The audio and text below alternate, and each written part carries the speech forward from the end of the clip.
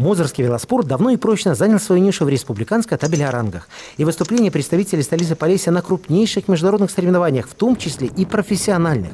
Представительство воспитанников нашего края в сборных командах страны, наконец, проведение крупнейших велосипедных состязаний на шоссе. Все это говорит в пользу Мозырского велоспорта, который с 8 по 11 июля принимает довольно масштабно, можно сказать, многогранное соревнование. Это соревнование, э, можно сказать, три в одном.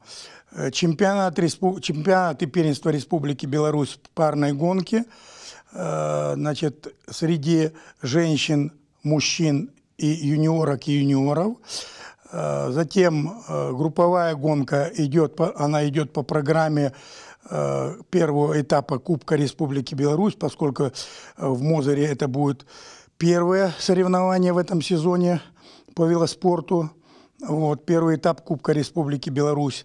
Э, здесь э, будут э, мужчины и женщины. А у юниоров и юниорок они участвуют в открытом первенстве Гомельской области в групповой гонке. Гонка «Критериум» идет как первый тур – чемпионата и первенства Республики Беларусь. То есть гонка критериум, она практически проходит как чемпионат и первенство первый тур, и чемпионат и первенство Гомельской области по велоспорту. Что касается шансов представителей столицы Полесья, воспитанников и учащихся Мозорского филиала Гомельского училища Олимпийского резерва, могут ли они завоевать награды вышеупомянутых состязаний? Увидим ли мы наших земляков на пьедестале почета? Что чемпионата, что кубка, что первенство нашей страны и Гомельской области? Ну, в принципе, команда у нас, в общем-то, сбалансирована, как говорят спортивные э, специалисты. И, в общем-то, ожидаем медалей как у, в чемпионате, так и в первенстве. Планируем медали, во всяком случае.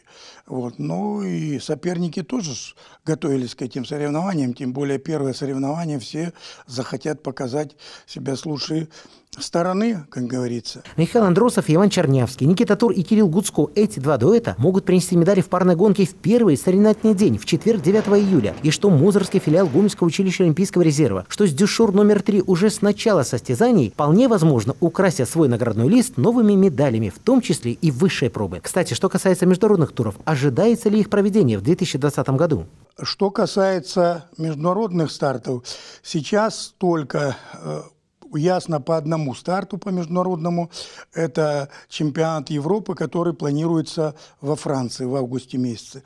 Остальные все соревнования пока под вопросом. Добавим, что под эгидой велосипедного клуба Минска в августе пятерка наших спортсменов под руководством тренера Евгения Викторовича Сенюшкина примут участие в первом этапе Кубка мира.